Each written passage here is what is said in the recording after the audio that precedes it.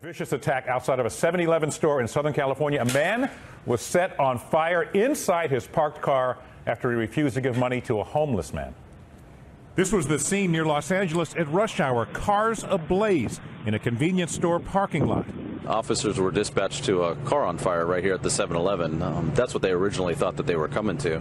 Uh, but when they arrived, they found that there was a man who had actually been on fire. Eyewitness Ed Bolak described the horrific scene to GMA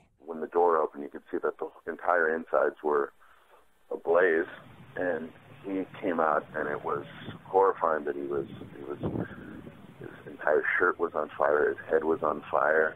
The badly burned victim pulled to safety. Firefighters fought to contain the flames.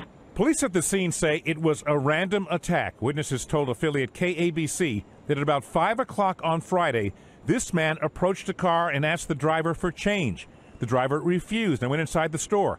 When he came out and got back into his car, witnesses say the suspect torched the car with the man inside.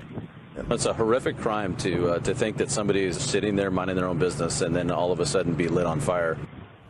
And Bolak, that was the eyewitness, uh, managed to corner the suspect and hold him until police arrived. The victim was hospitalized in critical condition. Charges are expected to be filed against that uh, suspect later today.